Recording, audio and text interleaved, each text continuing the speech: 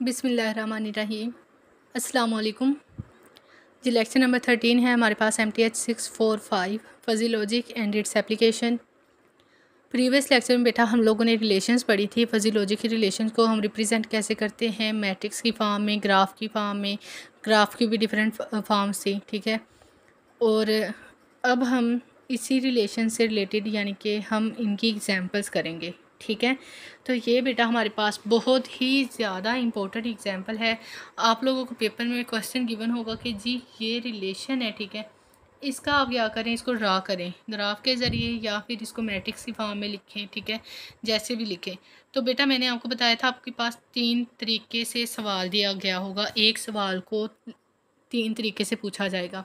तीन तरीके मैंने आपको बताए थे, या तो वो ग्राफ की फॉर्म में पूछ लेंगे, या वो मैट्रिक की फॉर्म में पूछ लेंगे, या वो रिलेशन की फॉर्म में पूछ लेंगे, ठीक है?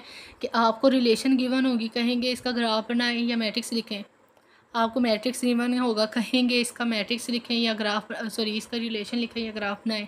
आपको ये ग्राफ गिवन होगा, वो कहेंगे इसका मैट्रिक्स लिखें और रिलेशन बनाएँ, ठीक है?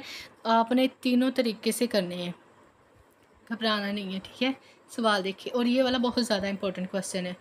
हमारे पास रिलेशन गिवन है ए सी ए सी हमारे पास क्या है? रिलेशन है, उस, किस पॉइंट पे? इसका पॉइंट क्या है? Zero point seven B A C D C B और सी डी अब आपने बेटा क्या करना है? आपने, पहले मैंने बताया था ना कि आपने इस तरीके से ये ड्रा कर लेना है। ये हमारे पास ए सिर्फ़ एक दफ़ा भी लिख सकते हैं, या फिर ए ए बाई ए लिख लें, कोई मसला नहीं है, ठीक है? यानी कि ये हमारे पास दो सेट है, ठीक है? ए बी सी और डी ये हमारे पास सेट है, ठीक है? और ये हमारे पास इसकी दूसरा सेट है, यानी कि हमने ए बी सी और डी की वैल्यू दो दफ़ा लेनी है। ए बी सी डी की वैल्यू ठीक है? अब ए टू ए हमारे पास रिलेशन है कोई?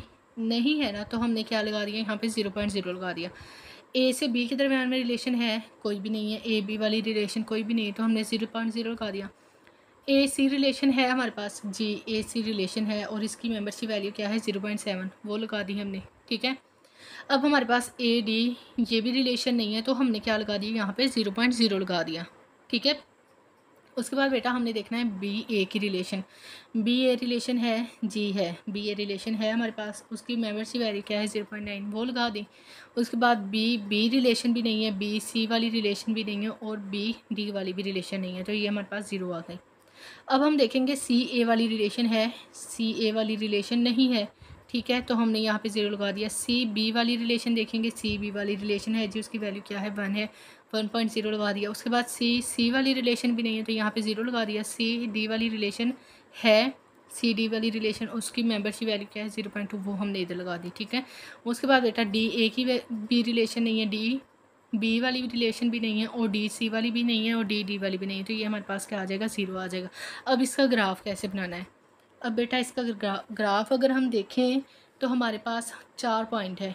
एक पॉइंट है ए एक पॉइंट है बी एक सॉरी बी एक है सी और एक है डी। ठीक है? ए और सी के दरमियान में रिलेशन क्या है? Zero point seven. उसको हमने ज़ीरो पॉइंट सेवन का नेम दे दिया। ए से बी के दरमियान में भी रिलेशन है ठीक है? सॉरी बी से ए के दरमियान में। बी से ए की तरफ़ जा रही है। जिसकी तरफ़ वो जाएगी ना, उसकी तरफ़ हमने एरो करना है। यानी कि जो बाद वाला एलिमेंट होगा ना, उसकी तरफ़ हमने क्या करना है? एरो का रुख करना है, ठीक है? तोपो का रुख हमने किसकी तरफ़ करना है? जो बाद वाला एलिमेंट होगा। तो ये हमारे पास होगा सी का सी से बी के दरमियान में रिलेशन इसको हमने वन का नेम दे दिया। तो बिल्कुल सिंपल है, आपने इसको इसी तरीके से ड्रा करना है। आपने पॉइंट लिख लिए, हमारे पास पॉइंट कौन कौन से? ए बी सी डी है। ठीक है, फिर आपने रिलेशन उसी के अकॉर्डिंग ड्रा कर दी।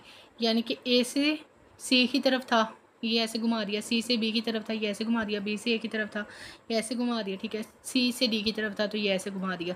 और जो जो इन रिलेशंस के फजी सॉरी मेंबरशिप वैल्यू थी ना, वो हमने इन रिलेशन के दरमियान में यहाँ पे लिख दी। ठीक है बस ये इसका सिंपल सा सोल्यूशन था। नेक्स्ट बेटा, हमारे पास है जी डोमेन और रेंज ठीक है? अब मैं आपको इधर से डोमेन और रेंज बताती हूँ। वहाँ पे थोड़ा सा बल्कि बता देती हूँ। ये हमारे पास है जी सेट रिलेशन है, ठीक है? ये रिलेशन गिवन है। A C B A C D C B और सी डी ये हमारे पास रिलेशन है, इसकी डोमेन और रेंज कैसे फाइंड आउट करें? बेटा, जो डोमेन होती है ना हमारे पास डोमेन हमारे पास होते हैं ये वाली वैल्यूज़ ठीक है? ये हमारे पास डोमेन होती है, यानी कि हमारे पास इस आर की डोमेन क्या होगी? ए बी और सी होगी। ठीक है? उसके बाद हमने रेंज लिखनी है। रेंज हमारे पास क्या है? सी ए बी और डी हमारे पास इसकी रेंज है। तो ये हमारे पास रेंज आ गई है हमारे पास डोमेन आ गई। डोमेन और रेंज भी बहुत ज़्यादा इंपॉर्टेंट है। पेपर में आ जाएगा। यहाँ पे आपको रिलेशन गिवन होगी। One two three four two one four five इस तरीके से। ठीक है? वो कहेंगे इसकी डोमेन क्या है जी? तो डोमेन आपने सिंपल देखना है। वन थ्री टू फोर ये हमारे पास इसकी क्या डोमेन है? रेंज भी आपने ऐसे देखना है। रेंज हमारे पास सेकंड एलिमेंट होता है रिलेशन का और डोमेन क्या होती है? फ़र्स्ट एलिमेंट होता है, ठीक है? उसके बाद बेटा, अगर मैं आप लोगों को सिंपल वर्ड में अगर समझाऊँ डोमेन और रेंज क्या होती है, ठीक है? तो हमारे पास डोमेन फ़ंक्शन की इनपुट होती है और रेंज आउटपुट होती है। यानी कि हम फ़ंक्शन को कोई भी वैल्यू दे रहे हैं, ठीक है? जो हम वैल्यू दे रहे हैं ना, वो उसकी क्या है? इनपुट है, उसको हम डोमेन कहते हैं। और जो हमारे पास फ़ंक्शन को वैल्यू देने के बाद इनपुट देने के बाद जो हमारे पास फाइनल आंसर आ रहा है ना, उसको हम क्या कह रहे हैं? आउटपुट तो वो आउटपुट क्या होती है? वो रेंज होती है। ठीक है? फॉर एग्ज़ाम्पल मेरे पास है A X sorry two X is equal to three अब हमने क्या करना है? हमने एक्स की वैल्यू फाइंड आउट करनी है, ठीक है? तो एक्स की वैल्यू हमारे पास क्या आ जाएगी? टू को थ्री के साथ डिवाइड करेंगे। तो ये हमारे पास एक्स की वैल्यू आ जाएगी थ्री बाई टू ठीक है? तो हमारे पास जो फ़ंक्शन की वैल्यू आती है ना, वो हमारे पास क्या होती है? रेंज होती है। अब सपोज़ करें कि हमारे पास एफ़ ऑफ़ एक्स है। एफ़ ऑफ़ एक्स कोई फ़ंक्शन है, ठीक है? यानी कि two X square minus three X ये हमारे पास एक फ़ंक्शन है। अब हम इसको सपोज़ करें वैल्यू दे रही हूँ मैं इसको, यानी कि वन वैल्यू दे रही हूँ। तो टू एक्स की एक्स का स्केयर यानी कि वन हो जाएगा थ्री एक्स यानी कि ये थ्री हो जाएगा तो टू माइनस से ये हमारे पास क्या आ जाएगा? माइनस वन आ जाएगा। तो इस फ़ंक्शन को जो मैंने इनपुट दी है, वो क्या दी है? वन वन दी है। इसका जो आंसर आ रहा है, वो क्या आ रहा है? माइनस वन आ रहा है। तो इसकी डोमेन क्या होगी? वन होगी और इसकी रेंज क्या होगी? माइनस वन होगी। ठीक है? तो बेटा, अब हमारे पास आ जाती है कि हमारे पास रिलेशन की हमने डोमेन और रेंज कैसे फाइंड आउट करनी है। ठीक है? तो यहाँ पे गिवन है कि डोमेन और रेंज हमारे पास किस तरीके से हम फाइंड आउट करते हैं। ये फार्मूला है। यहाँ पे देखें, ये इतना क्लियर नज़र नहीं आ रहा, मैं नोट से दिखाती हूँ आपको।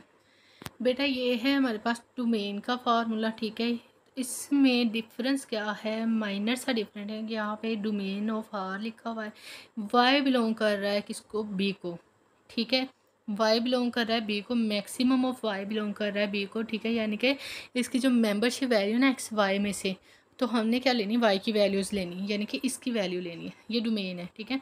उसके बाद सॉरी वाई बिलोंग कर रहा है बी को। और ये फार्मूले का डिफरेंस आपने देखना है कि रेंज में हमारे पास क्या है? एक्स बिलोंग कर रहा है ए को। बस ये एम सी क्यूज़ के हवाले से थोड़ा सा डिफरेंस आपने याद रखना है। नेक्स्ट है बेटा कि डोमेन और रेंज फाइंड आउट करनी है। एक्स हमारे पास गिवन है, ठीक है? ये हमारे पास रिलेशन है। इसमें से हमने क्या करना है? डोमेन और रेंज फाइंड आउट करनी है। डोमेन हमें कैसे पता चलेगा और रेंज कैसे पता चलेगा? तो बेटा डोमेन हम फाइंड आउट करेंगे रिलेशंस के ज़रिए से, यानी कि एक्स वन एक्स वन तो इसकी रिलेशन हमारे पास, यानी कि एक्स वन और एक्स वन की रिलेशन हमारे पास एग्जिस्ट कर रही है, ठीक है? तो ये हमारे पास क्या है? ज़ीरो पॉइंट टू है। एक्स वन एक्स टू की नहीं कर रही तो ये हमारे पास ज़ीरो है। एक्स वन एक्स थ्री की कर रही है तो ये हमारे पास क्या है? ज़ीरो पॉइंट फाइव है। ये एक्स थ्री हमारे पास क्या है? डोमेन है। ठीक है?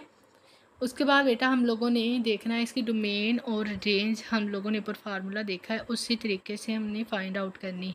अब ये देखें, हमारे पास मैट्रिक्स गिवन है। हमने क्या करना है? इसकी रिलेशन बनानी है। इसकी रिलेशन बनाने के बाद ना हमारे पास रिलेशन जब बन जाएगी, ठीक है? यानी कि ये सेट की फॉर्म में रिलेशन बन जाएगी। बेटा डोमेन हम, हमारे पास कौन से एलिमेंट होते हैं? जो फ़र्स्ट वाले एलिमेंट होते हैं, ठीक है? रेंज हमारे पास जो सेकंड वाले एलिमेंट होते हैं।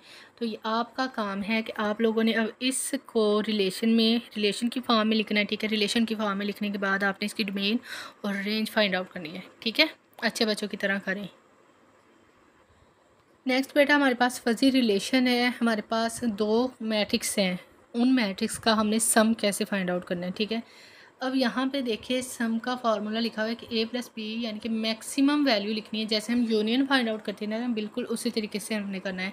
Maximum value of A I J and B I J यानी कि मैट्रिक्स जो आपके पास गिवन होंगे ना, ये मैट्रिक्स ए है, ये मैट्रिक्स बी है, ठीक है? इसके करोस्पॉन्डिंग एलिमेंट जो होंगे ना, यानी कि फ़र्स्ट के करोस्पॉन्डिंग फ़र्स्ट सेकंड के करोस्पॉन्डिंग एलिमेंट सेकंड थर्ड का थर्ड ठीक है फोर और फोर इन एलिमेंट्स में आपने देखना है जो मैक्सिमम वैल्यू होगी ना, वो आपने लिखनी है। ये हमारे पास क्या होता है? ये हमारे पास सम होता है फजी सेट का। यानी कि फजी रिलेशन हम कैसे फाइंड आउट करते हैं? दो मैट्रिक्स में। और उसके बाद हमारे पास है मैक्सिमम प्रोडक्ट और स्केलर प्रोडक्ट ठीक है स्केलर प्रोडक्ट यानी कि स्केलर क्वांटिटी को आपने फजी मैट्रिक्स के साथ, सबके साथ मल्टीप्लाई कर देना है। ठीक है? और मैक्सिमम प्रोडक्ट जो है ना, वो आपने कैसे फाइंड आउट करना है? वो आपने करना है कि पहले आप मिनिमम निकालेंगे। यानी कि जो आपके पास दो मैट्रिक्स गिवन होंगे ना, उन मैट्रिक्स में जो करस्पॉन्डिंग एलिमेंट होंगे ना, उनके आपने पहले मिनिमम फाइंड आउट करने हैं। उन मिनिमम में से, यानी कि अब यहाँ पे देखें, इन दोनों में से आपने पहले मिनिमम फाइंड आउट कर लिया, आपके पास एक नई चीज़ बन गई, नया मैट्रिक्स बन गया, ठीक है? मिनिमम फाइंड आउट करने के बाद। उसके बाद आपने क्या करना है? उन सब की मैक्सिमम वैल्यू को देखना है। ये एग्ज़ाम्पल जब सॉल्व करेंगे ना, तब आपको ज़्यादा अच्छे तरीके से समझ में आएगा। पहले हम ऐड करते हैं, ठीक है? एडिशन का तरीका हमें पता है कि हम कैसे करते हैं। एडिशन में हम यहाँ से इन दोनों में से मैक्सिमम वैल्यू देखेंगे। ज़ीरो पॉइंट टू और ज़ीरो पॉइंट वन में से, ठीक है? तो ज़ीरो पॉइंट टू और वन पॉइंट ज़ीरो में से मैक्सिमम वैल्यू क्या है? वन है, वो लिख ली। ज़ीरो पॉइंट फाइव और ज़ीरो पॉइंट वन में से मैक्सिमम वैल्यू क्या है? Zero point five. वो लिख ली ज़ीरो पॉइंट ज़ीरो है ज़ीरो पॉइंट ज़ीरो ऐसे ही लिख लिया ठीक है ये हम ऐड कर रहे हैं अब ज़ीरो पॉइंट फोर और ज़ीरो पॉइंट ज़ीरो में से ज़ीरो पॉइंट फोर मैक्सिमम है लिख लिया अब one point zero zero point zero से मैक्सिमम है zero point one zero point five maximum है तो हम ज़ीरो पॉइंट फाइव लिख लेंगे ठीक है इसी तरीके से बेटा हम नीचे वाली रो में से देखेंगे ये भी ज़ीरो है ये भी ज़ीरो है ज़ीरो लिख लिया ये वन है ये भी वन है वन लिख लिया ये ज़ीरो है और ये ज़ीरो पॉइंट वन है तो ये हमने यहाँ पे लिख लिया ये आ गया हमारे पास एडिशन का, ठीक है? अब हमने क्या करना है? अब हमने मल्टीप्लिकेशन करनी है मैक्सिमम मल्टीप्लिकेशन उसमें हम क्या करते हैं बेटा? उसमें हम पहले देखते हैं मैक्सिमम को सॉरी मिनिमम को। यानी कि पहले हम मिनिमम को देखेंगे, जब हमारे पास मिनिमम आ जाएगा ना, तब हम क्या देखेंगे? मैक्सिमम देखेंगे। अब हम इन्हीं मैट्रिक्स को लेके चलते हैं। मैं आपको समझाती हूँ। इन मैट यानी कि ये हमारे पास मैट्रिक्स है ना ए डॉट बी हमने प्रोडक्ट फाइंड आउट करना है ठीक है ए डॉट बी अब इनमें से जो मिनिमम है वो कौन सी है ज़ीरो पॉइंट टू तो यहाँ पे मैंने लिख लिया ज़ीरो पॉइंट टू ठीक है ज़ीरो पॉइंट टू के बाद ज़ीरो पॉइंट फाइव और ज़ीरो पॉइंट वन तो यहाँ पे ज़ीरो पॉइंट वन लिख लिया ये ज़ीरो है ये भी ज़ीरो है यहाँ पे ज़ीरो आ जाएगा ठीक है उसके बाद ज़ीरो पॉइंट फोर और ज़ीरो पॉइंट ज़ीरो आ जाएगा ज़ीरो पॉइंट ज़ीरो ठीक है उसके बाद one point zero and zero point zero zero point zero आ जाएगा zero point one, zero point five, zero point one आ जाएगा, ठीक है? उसके बाद बेटा हमारे पास zero point zero zero point zero zero point zero आ जाएगा। उसके बाद वन और वन में से मिनिमम ज़ीरो पॉइंट, यानी कि दोनों सेम ही है तो वन लिख लेंगे। ज़ीरो इनमें क्या है? मिनिमम है तो ये लिख लिया हमने, ठीक है? अब इनमें से हमने मैक्सिमम वैल्यू देखनी है। इसमें से मैक्सिमम क्या है? ज़ीरो पॉइंट टू है। इसमें से मैक्सिमम हमारे पास क्या बन रही है? ज़ीरो पॉइंट आई थिंक ये वन बन रही है, ठीक है? उसके बाद लास्ट वाली में से मैक्सिमम हमारे पास वन बन रही है तो ये हमारे पास फाइनल आंसर आ जाएगा, ठीक है? उसके बाद है जी फजी रिलेशन की डेफिनेशन है। If a fuzzy relation R is given in the form of fuzzy matrix, its element represent the membership value, यानी कि इसके जो एलिमेंट होते हैं ना, ये वाले एलिमेंट ये membership वैल्यू को represent कर रहे होते हैं, ठीक है? उसके बाद क्या है कि ji it's element represent membership values of this relation that is if matrix is denoted by M R यानी कि हम मैट्रिक्स को एम आर से डिनोट कर रहे हैं ना तो उसकी मेम्बरशिप वैल्यू को हम M R into I comma J से डिनोट करेंगे। क्योंकि हम मैट्रिक्स को हमेशा आई और जे की फॉर्म में रिप्रेजेंट कर रहे होते हैं। आई हमारे पास क्या होते हैं? नंबर ऑफ़ रोज़ होती हैं और जे हमारे पास क्या होते हैं? नंबर ऑफ़ कॉलम्स होते हैं, ठीक है?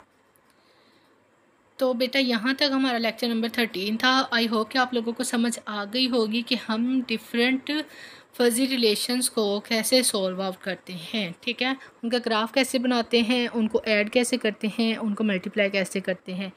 नेक्स्ट भी ऐसे क्वेश्चन आएँगे। आप लोग अच्छे तरीके से देखिएगा, आपको समझ आ जाएगी अगर कहीं पे भी कन्फ्यूज़न हुई, ठीक है? वीडियोस अगर आप लोगों को अच्छी लग रही हैं और आपको समझ भी आ रही हैं तो चैनल को सब्सक्राइब भी करें और वीडियो को लाइक भी करें ठीक है? थैंक यू टेक केयर अल्लाह हाफिज़